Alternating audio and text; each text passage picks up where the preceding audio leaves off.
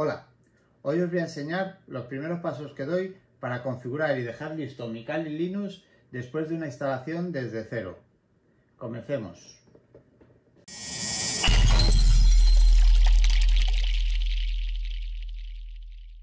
Bien, una vez que tenemos abierto nuestro Kali y recién instalado, pues yo lo que siempre suelo hacer, lo primero que hacer es irme a configuración, al gestor de configuración, ¿vale?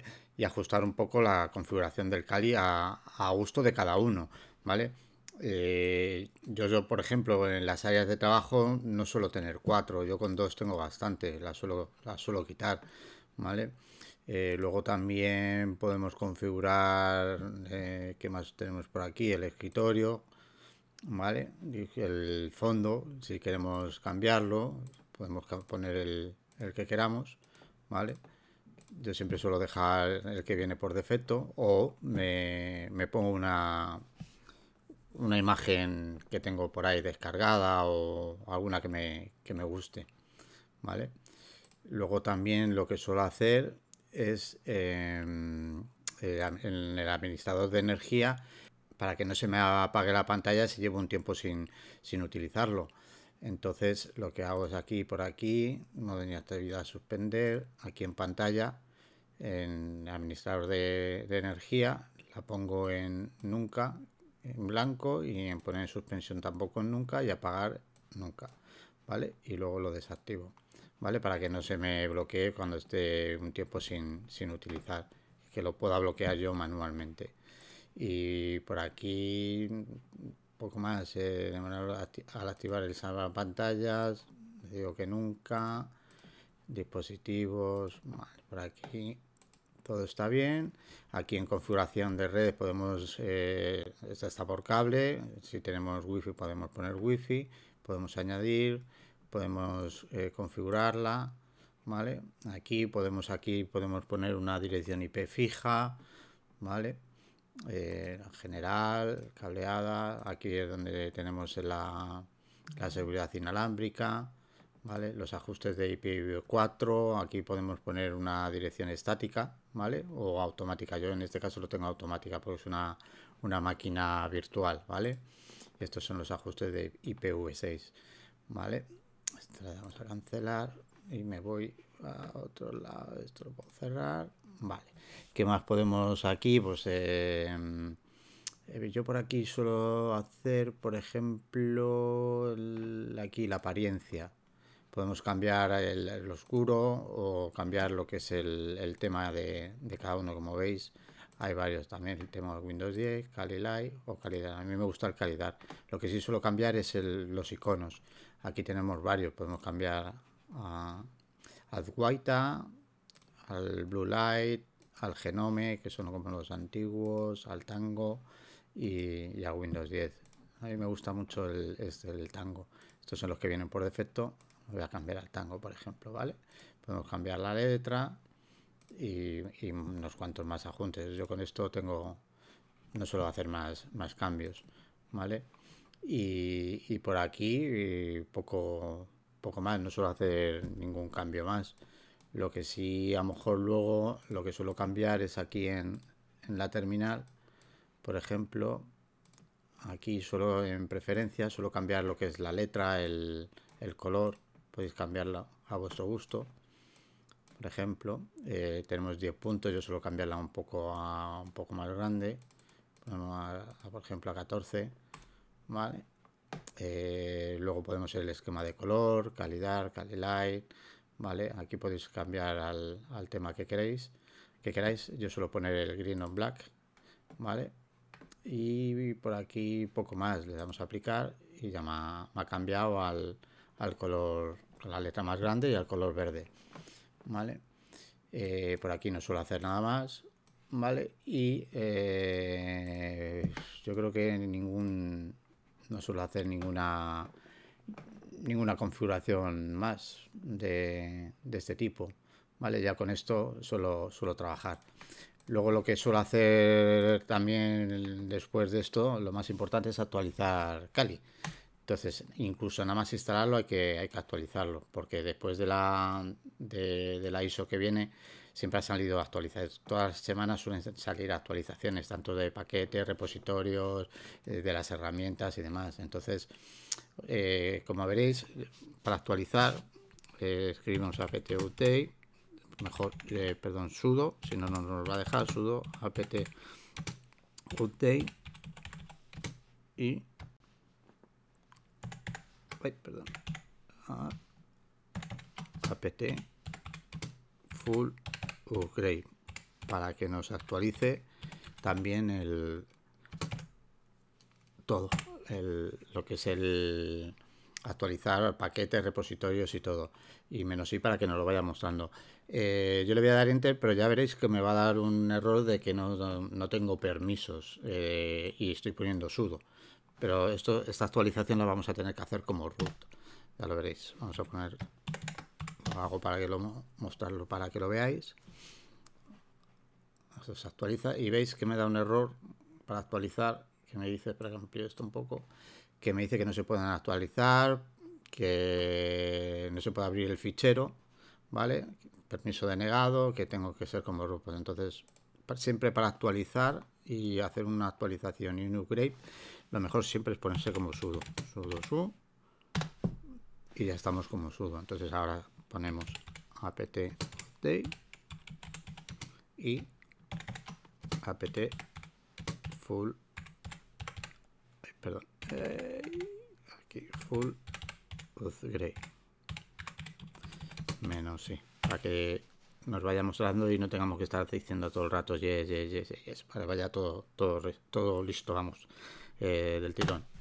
Vamos y ya nada más que esperar a que termine de actualizar. Como veréis tardará un poquito incluso recién instalado vale Vamos a esperar. Bien, como veis aquí, cuando se para para pedirnos eh, que confirmemos, eh, aquí nos dice que los servicios tendrán una actualización de paquetes sin solicitar confirmación. Decimos que sí para que no solicite todo el rato el sí y el no. Le damos a yes, así, y ya automáticamente se restablecen servicios y se apagan, se restablecen para que se vaya actualizando sin tener estar preguntándonos todo el rato.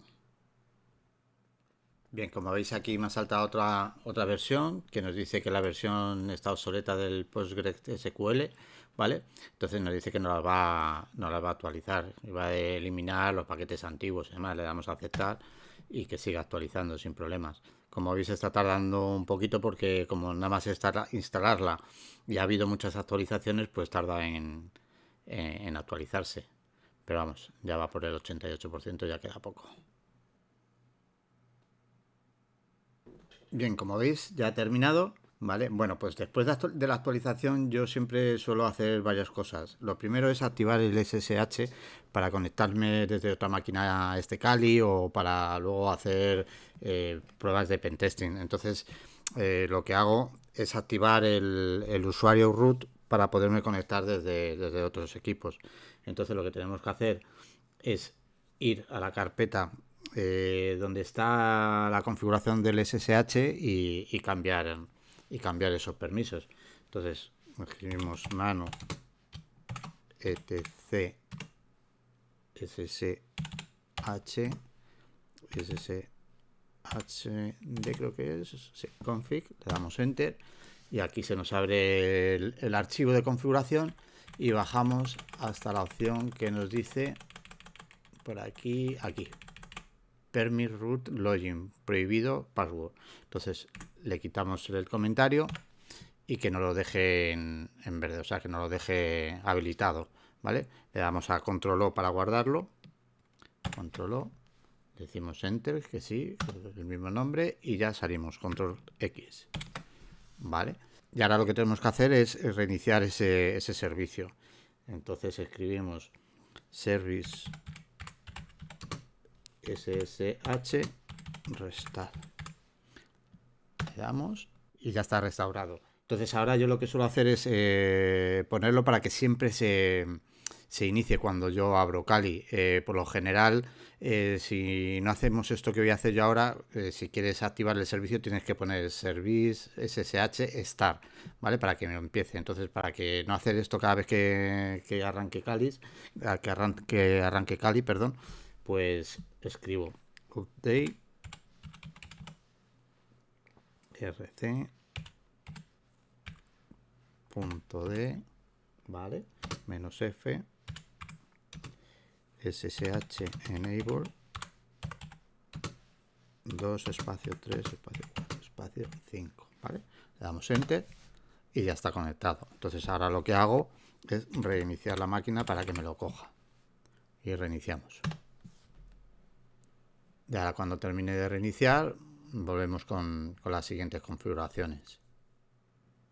Bien, una vez arrancado, luego vemos eh, si el servicio está iniciado o no con otra herramienta que, vamos a instalar. Pero lo primero que vamos a hacer después de, hacer esto, eh, yo voy a instalar el servicio Tor.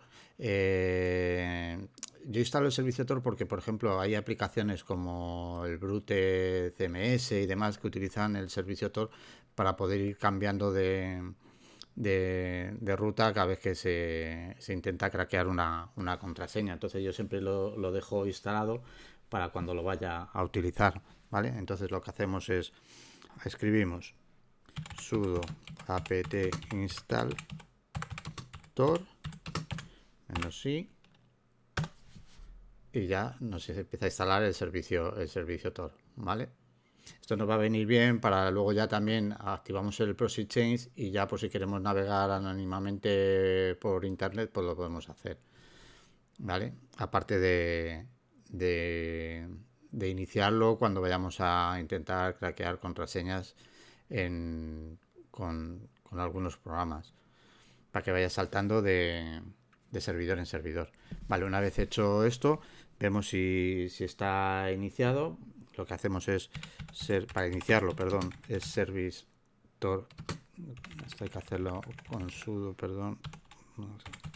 sudo service tor start, ¿vale? Y ya está. Y para ver si, está activado, pues ponemos service tor status, que nos diga si está activado o no. Y como veis, aquí está activado. ¿Vale? Ya está activado el servicio Tor, ¿vale? Bien, ahora lo que vamos a hacer es eh, hacer una modificación en el, en el, archivo de configuración de proxy chains para que cada vez que naveguemos eh, podamos eh, navegar anónimamente también utilizando Tor, ¿vale? Y con el Firefox. lo primero que tenemos que hacer es sudo nano etc etc proxy change 4.conf. Le damos enter. Una vez abierto el archivo de configuración de proxy change, lo que tenemos que cambiar es aquí en dynamic, descomentamos y comentamos strictly change, ¿vale? Strict change, ¿vale? Esto no lo explico porque, bueno, yo tengo un vídeo donde donde digo lo que hay que hacer y demás, ¿vale? Lo podéis ver en mi canal. Y luego abajo tenemos que añadir una línea del SOX 5 en la lista de proxies. Bajamos hasta abajo las teclas, ¿vale? Y aquí en la lista de proxies, proxy leaks, tenemos SOX 4 activado y tenemos que activar el SOC 5. Escribimos SOC 5, tabulador 127.0.0.1, espacio 9050, que es el puerto de, de Tor. ¿Vale? Pues damos Enter y ya tendríamos activado el otro, otro proxy el SOX 5. Si queréis añadir aquí proxies que encontréis por internet, lo podéis hacer, lo añadís y vais saltando de, proxy en proxy. ¿Vale? Eh, esto salimos, control para guardar, decimos enter y control X para salir. Y ya tenemos configurado proxy change, ¿vale? Eh, lo siguiente, Pues lo siguiente que hago es instalar eh, dos aplicaciones, mm, más bien por, para mi gusto, para ver los servicios que están activos y los que no están activos, por si hay que matar algún proceso o demás, que es htop. Entonces lo que hago es sudo apt install htop, ¿vale? Lo instalo y veréis que si yo ahora hago htop, ¿vale? Ya tengo aquí todos los procesos del Kali, de los, que están activos, los que están funcionando, ¿vale? Para que veáis si, como hemos instalado antes el SSH, si está activo o no, pues vamos a, ver si está activo o no. Vamos a buscarlo aquí en search, pulsamos en search y aquí escribimos SSH, ¿vale? Y veis que directamente me salta aquí. Y como veis, si yo lo amplío un poco, aquí por aquí, ¿vale? Que está escuchando en el puerto. Aquí, vale. Y ahora mismo no hay nadie conectado. ¿Vale? Pues esto, ese, para esto sirve HTTP. También si queremos matar algún proceso, pues voy a, buscar, borrar esto. ¿Vale? Si queremos matar algún proceso, pues seleccionamos el proceso y F9 lo, lo, lo termina, lo mata. ¿Vale? Esto por, por un lado. Ahora también podemos instalar, que yo suelo instalarlo para ver una, una versión un poquito más bonita de, de la información de, del Kali, la, la versión instalada y todo, pues instalamos sudo apt install, install neofet está bien escrito neofet sí. La contraseña le decimos que sí y ya veréis que ahora con escribir eh, neofetch directamente me, da toda la información de Kali, de la, la, versión instalada, la versión que hay y demás, en plan bonito. Entonces voy a limpiar para que se vea bien, clear, y voy a poner neofetch, neofetch, así. Le damos enter y como veis aquí me da toda la información del Kali instalado la versión Linux, la, Rolling de 64, eh, es un VirtualBox, el kernel del, del Kali, eh, llevo nueve minutos con él trabajando, los paquetes eh, subidos y bajados, la resolución de la pantalla, el, este, el, tema, el, calidad. Luego, por ejemplo, los iconos, como lo hemos cambiado, te salen los iconos puestos.